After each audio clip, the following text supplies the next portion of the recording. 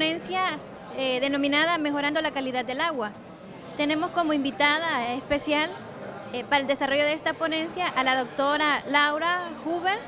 Eh, ella es catedrática de la Universidad de Tennessee de Estados Unidos y viene a compartir con nuestros estudiantes las experiencias que ella ha desarrollado pues investigando y trabajando fuertemente en diferentes países en relación a este tema.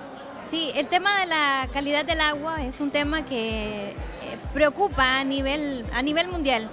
Es un recurso eh, de gran valor, eh, muy, digamos, necesario para la vida humana. ¿Por qué no decirlo? Pues indispensable para la vida humana. En ese sentido, eh, valorar el agua como recurso es, es fundamental.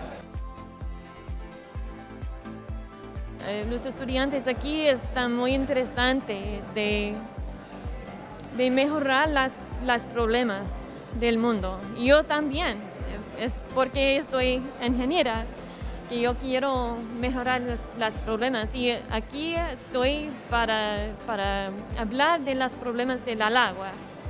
Este es un problema global, es un problema en mi país, es un problema en El Salvador y este problema tiene diferentes formas en diferentes lados, pero nosotros pueden usar la misma estilo de, pensar por, por mejorar este problema. Por los estudiantes yo creo que es muy importante de entender cuál es la responsabilidad de un ingeniero por la sociedad en parte del agua.